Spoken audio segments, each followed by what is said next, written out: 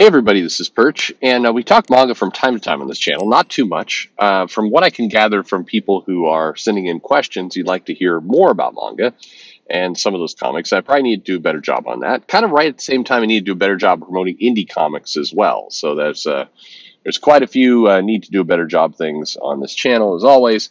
Uh, but uh, manga as a as a topic.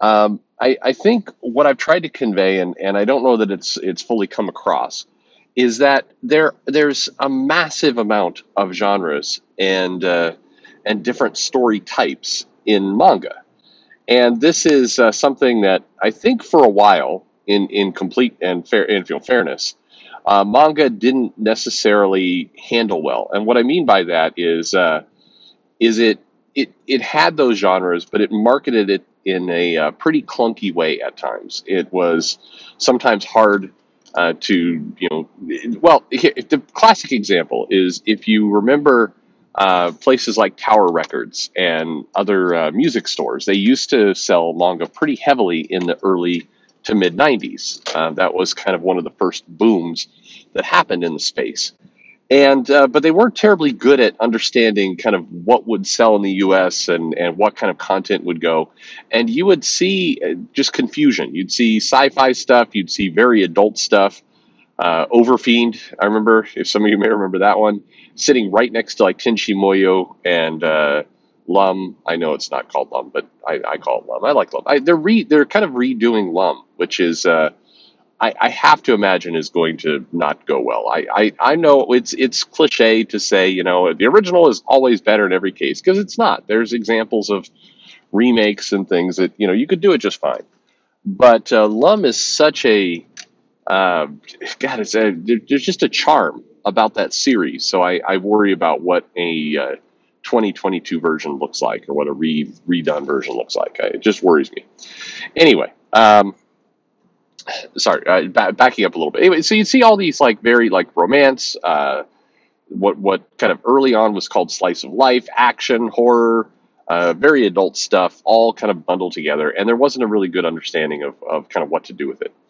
And then I think a combination of a few things hit where you had um, better online presence, so people could actually categorize and and split things up uh, themselves differently.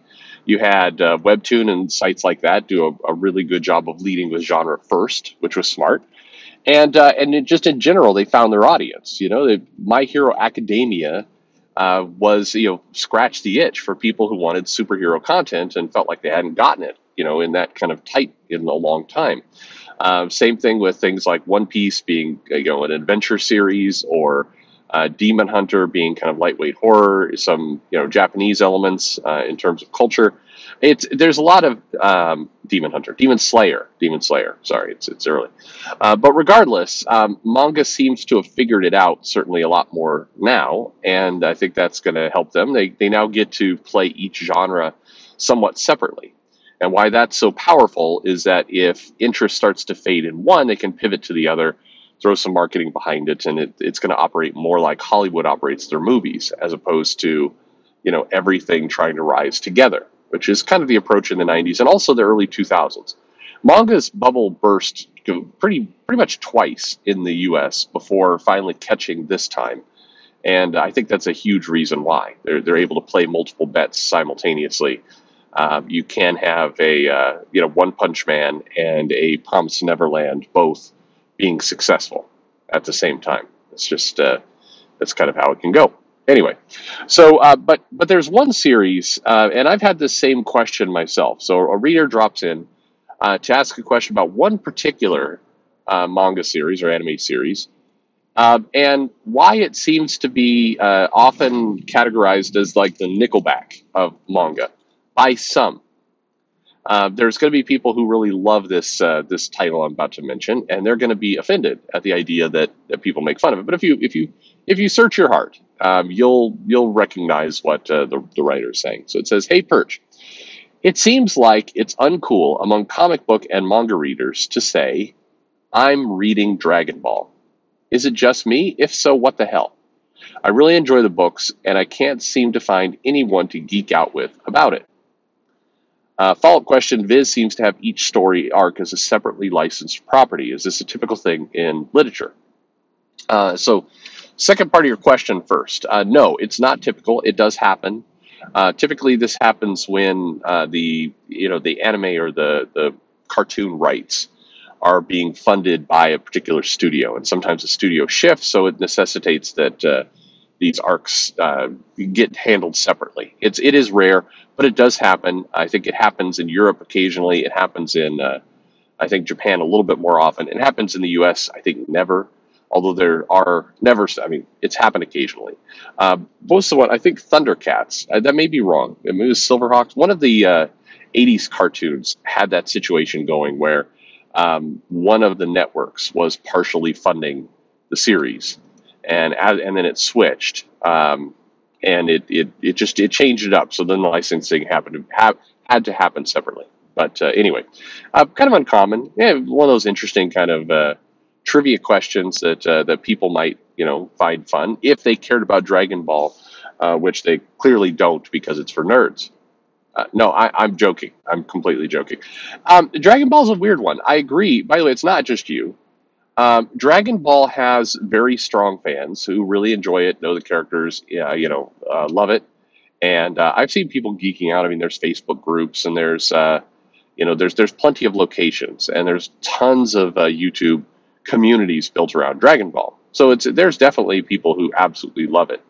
However, um, in manga circles, Dragon Ball seems to be portrayed as the crappy one, as the you know uh, the, the, the cheaper one, the one that uh, people believe is uh, just just just you know low low cost, low quality, um, poor dubbing. Uh, just you know, it's the it's kind of like 80s cartoons with a lot of reuse of, uh, of backgrounds. It's, it, it's portrayed as the cheaper, crappier uh, manga. And there's some truth to that, not, not on the crappy part. I, I think I like Dragon Ball. Dragon Ball is a fun adventure series. There's some good stuff about it. There's definitely some anime cliches and tropes, like there are in a hundred percent of all anime. Um, I mean, I found people uh, really insult Dragon Ball and then turn around and praise Demon Slayer uh, for the same kind of you know aspect. Uh, you know, Demon Slayer of uh, you know is I like Demon Slayer a lot. Okay. But there is a, a definite uh, pattern and structure to the battles and to what people go out and do. There's a definite um, there's a definite arc that plays out whenever there's a big boss fight.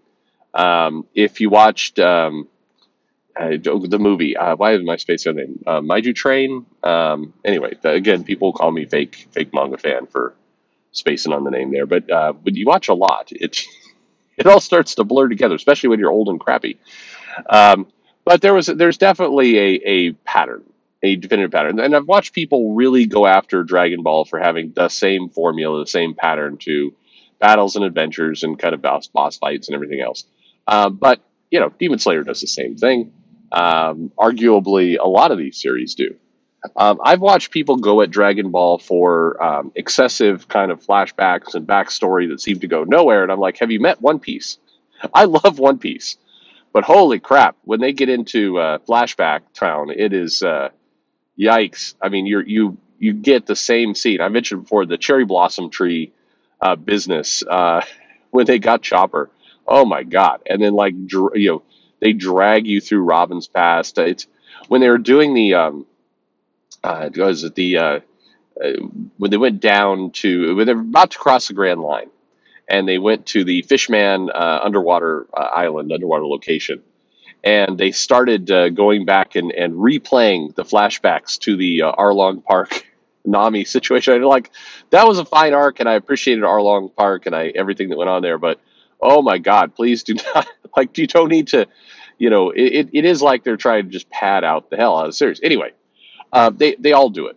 Uh, Dragon Ball is is I think rendered a little cheaper uh, for sure. It's it's older in a lot of cases, the animation style doesn't look as uh, as modern and new and crisp as some of the newer stuff, and I'm sure that has a lot to do with it. Um, Dragon Ball has a reputation for being uh, kind of the the kid version or the the one that's for younger audience, and uh, so you know if you're a true man of culture, if you're a true uh, you know older person, and then you'd migrate to other series. I think in many ways it's kind of how people um, you know think about Archie. I mean, Archie is a comic And I, Dragon Ball's, I think, got a lot more going on to it than uh, than Archie, but I think that's how a lot of people look at it in manga circles. Uh, you know, Archie is very successful, keeps getting sold, um, you know, has you know no issues, um, but it is aimed at a very specific audience. I think uh, Dragon Ball is probably aimed at a slightly different audience than most of manga, and so people make fun of it. And it is uh,